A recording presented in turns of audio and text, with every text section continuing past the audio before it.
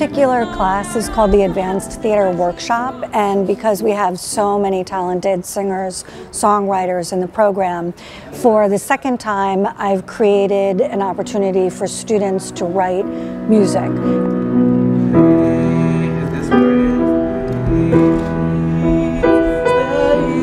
And so we're writing a new musical. Uh, this semester we have chosen a story that takes place in Tribeca in the 1800s. It's based on a true story.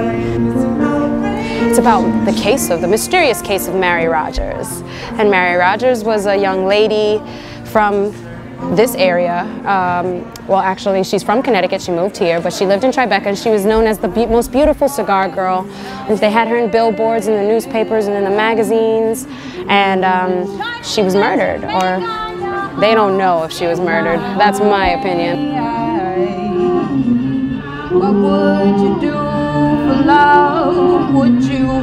What would you do for love? Would you? Could you? Would you do for love? Would you? Could you? What would you do for love? What do I do now? Students can study part-time. Students can also study stage management, theater management.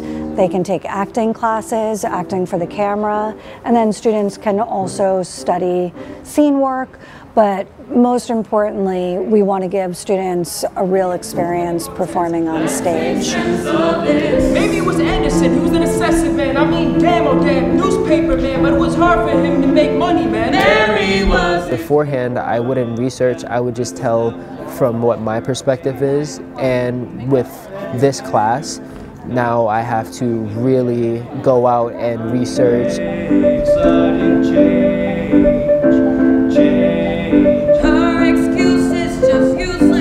I am very introverted in, in the real world, and it, it is difficult. And I, until maybe a month ago, I wouldn't call myself an actor. I can't believe that you're calling me an actor.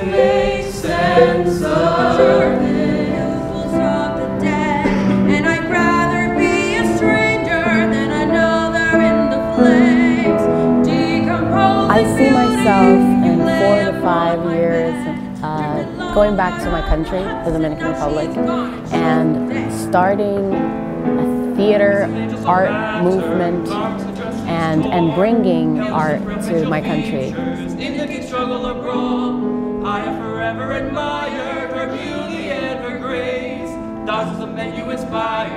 Dreaming of being on Hamilton, it was like the most far-fetched dream ever. And then they did an open casting call, and one of my professors, Katherine Kavanagh, actually sent me the email and said, you better be there. And just dreaming kept me on that line.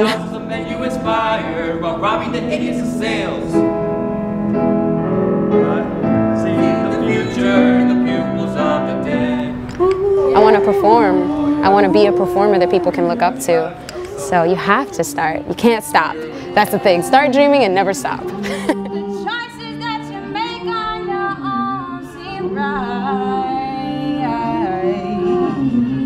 What would you do for love? Would you, what would you